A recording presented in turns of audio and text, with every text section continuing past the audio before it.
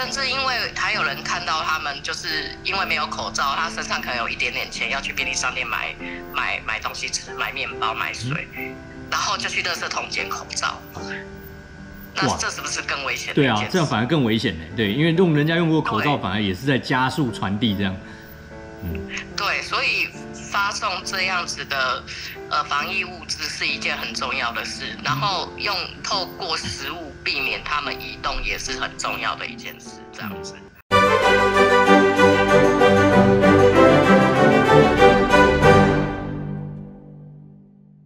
讲台湾睡台湾，台湾的故事是讲不了睡不进啊！大家好，我是同爱公客安导。中央流行疫情指挥中心呢，在五月十三日呢，确实了台北市万华地区呢哦染疫个案哦，以及呢娱乐场所这几个关键字呢，瞬间成为众矢之的。而随着呢本土确诊的个案的数字不断的飙升呢，全台湾的防疫哦也正式进入到了第三级的警戒。不过，当大家呢还在呢哦抢物资、猎物啊、踏伐个案啊、口水战的时候呢，其实有一群人正在默默的超前部署。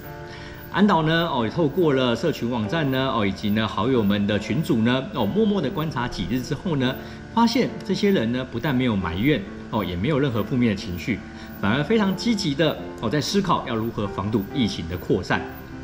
那虽然在疫情期间呢，哦，我没办法带大家直接到现场呢，哦，来了解，但是呢，我可以透过电话连线呢，带大家来认识这一位呢，在万华在地的好朋友。嗨，大家好，我现在是在那个重灾区的两本。重灾区，你们哎，蛮会调侃自己的 重灾区，你那已经算是一级战区了吧啊不？是都这样说吗？对，对啊，大家的足迹都有来到我的故乡。哎，好了，我们今天要来跟大家聊一下啦，就是从上个礼拜开始，然后呢，就是我们的好朋友这个做工的人的作者林立清，他就开始透过 Facebook，还有呢，呃，那个我们的群主，他就在讲了一些你们的超前部署。对，应该是呃说比官府还超前啊。嗯，民间本来就会走在比官府还前面啊，好像很正常哦。就是我看到的是说，呃，你们有在那个，你有开始去找一些物资，然后进来，对不对？嗯，你去哪边找这些东西？因为所有的卖场都已经开始在限制大家购买的数量了，那你怎么去填这些物资？然后为什么要准备这些东西呢？呃，应该是说那时候在公布三级的时候，我那一天就觉得这个情况不对，嗯然后这时候就是会，当然就是社服团体当然会需要涌入很大量的物资啊，办那些弱势要怎么办？但我们知道说政府他们要去调配这些物资是要花时间的，在所以民间一定要先做。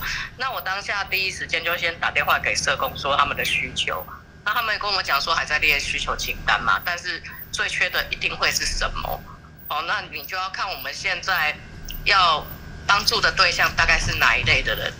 那我这一次会，我这一次选择是，呃，关于针对街友的服务的的 N NPO。那为什么我会选择这些单位？是因为我知道大家都很讨厌街友嘛，嗯哼，可是一定要有人去做第一线的服务。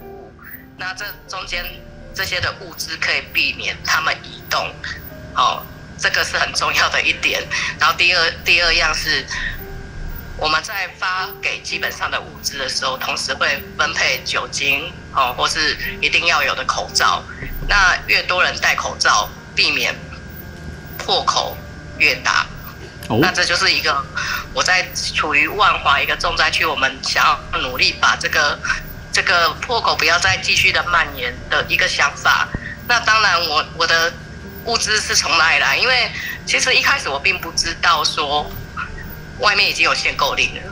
哦，是因为我一群朋友，像林立清他们就告诉我说有这件事情，然后刚好有朋友拿了一些钱，然后请我代购，我就忽然想到我以前开过公立福利社，哦啊，有一个地点哦，就是大家那种无论是杂货店啊、工地福利社很爱去批货的地方，就叫那个地方叫挂行，哦，就是其实就是盘商啦。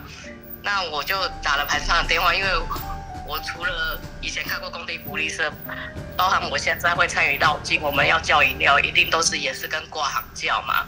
那那这一次我们跟挂行讨论了这件事情，说这这些物资是要给弱势的，然后挂行二话不说，很所有东西都算便宜，而且还加码自己也自己也送物资哦，所以这一次其实还蛮感动啊。那就是第一时间是靠自己自己的一些钱，还有朋友赞助的一些钱，然后先至少解决那时候的燃眉之急，然后让社工可以马上去做第一线的服务，这样子。嗯哼，那这样刚听起来。你们就其实已经超前了很多了，但是我想好奇的是说，呃，万华原本在照顾这些街友的社工发生了什么事情？怎么会让你们去进行这件事？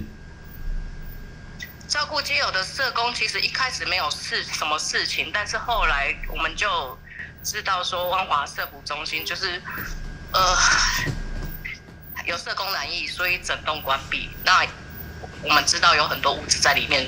出不来了哦，所以那些东西没办法出来给街友就对了，这样。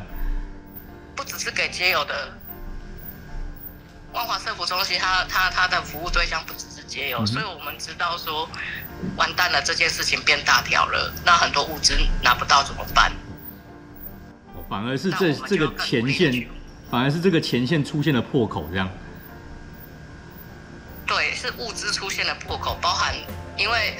像防护防护的配备好了，大部分的资源都会给医护，但是其实服务皆有的社工在第一线其实也是很危险的，但是比较少被想到。那本来万华社福中心可能有一些，那现在也拿不到怎么办？我们总不能让他们光溜溜的去发吧，等下马上就染疫了哦。所以这时候我们就除了在募物资之外，包含社工的安全的防护这一件事情，也是我们很重要。就算买不到，都要去想办法。哦，所以你们就是另辟途径就对了。包含那个什么防护，大家只会想到防护衣，对不对？嗯。但其实还有还有防护头套、护目镜，然后鞋套、手套。然后 N95 口罩，如果你是要做一个正确的防护，其实要包很多层。但是因为很多东西现在是，是根本就是你有钱也买不到了。嗯然后就要透过很多种途径，各种大神，大家去拜托这样子。哦，所以原来是这样子，所以你们就等于说，哦，呃，完全取代了，呃，暂时暂代了社服中心的工作，然后呢，来帮助他们就对了，这样。应该也不是说站在社府中心，我们没那么伟大啦，因为我们其实只只是帮几个 NPO、NGO 在募东西，大概四个单位左右。嗯哼，那多我们的能量其实也没那么强啊，因为我们也不是什么喝雅郎，也没有认识一些大企业嘛。哦，就是尽力啦，尽力啦。那我刚刚有注意到一件事情，就是呢，呃，因为你们把这一次的这个重点。摆在街友，而且街友其实一般大家不太会去注重。那为什么你们特别注重要从街友这个地方去防堵这个破口呢？呃，因为就是他们是最不会被喜欢的一群人呐。比方说我好了，我那种什么你在讲高空的，我就扣嘞，嗯。啊，你再重讲一次，你说比如说什么？大家一定也会觉，对不对？等等，刚刚断掉，你再重新说一下。哎嘿，被讲偷谈，我为什么要捐给他们？大家的想法都是这样嘛，所以我会选择这个是没有人要碰，而且碰了可能还会被在地居民骂，吃力不讨好的一件事啊，所以很少人愿意做。但是因为第一线的社工如果没有后面有人去支持他的话，包含他身上的防护，包含要支撑他，除了一些物资，比方口罩、酒精发送。你如如果里面没有一些可以基本温饱的东西，你觉得那些人会跟你在面乖乖戴口罩，乖乖不乱跑吗？应该说他们都是在外面流浪的嘛，那所以你的最好做法就是呢，透过分送食物给他们，同时也把这些防疫的物资交给他们手上的时候，然后去带动他们自己先保护起来，那这样他们就不会移动了嘛，那不移动就不会产生这个呃防疫的破口就对了，是这个概念吧？对，就是减少破口，我也不能我也不能保证说就不会产生破口，嗯，但是至少。至少可以减少。哦，因为如果今天我这个如如果我待在蒙甲公园，我没东西吃的话，我可能就会往呃那个台北车站移动。嗯，那我在这一段的路上，我会碰到多少人？那如果整群的街友在路上移动，你觉得现在应该是说，也不要去讲街友好了，所有的人都是尽量不要移动，嗯，因为只要移动就很容易把那个病毒给四处四散嘛。嗯，所以对所有的人做法都是一样，包含现在那种弱势家庭也是一样啊。你没有东西吃，你还是要得得去外面嘛。嗯，那如果社工就是把这些物资都发送给你，大家就可以安心的在家里做好防疫。其实所有的人都一样，现在没有谁比较高级，谁比较低级啊，嗯对不对？那个狮子王，狮子王那么有钱，他还不是就染疫了？也是啊，对对对，所以我觉得这的确是提供大家一个不一样的观点哦，因为大家都在，应该说所有的人都不要到处乱跑，但却没有人去顾虑到这一群在街上本来就生存在这里的人。对，那让他们呢，哦，就是因为他们需要到处找寻食物，或者是呢，呃，到处去移动，呃，去可能找一些物资的时候，其实就在扩散这样的一个流动率，对不对？对，就是因为没有口罩，他身上可能有一点点钱，要去便利商店买买买东西吃，买面包、买水，然后就去垃圾桶捡口罩。那哇这是不是更危险？对啊，这样反而更危险呢。对，因为用人家用过口罩，反而也是在加速传递这样。嗯对，所以发送这样子的呃防疫物资是一件很重要的事，然后用透过食物避免他们移动也是很重要的一件事，这样子。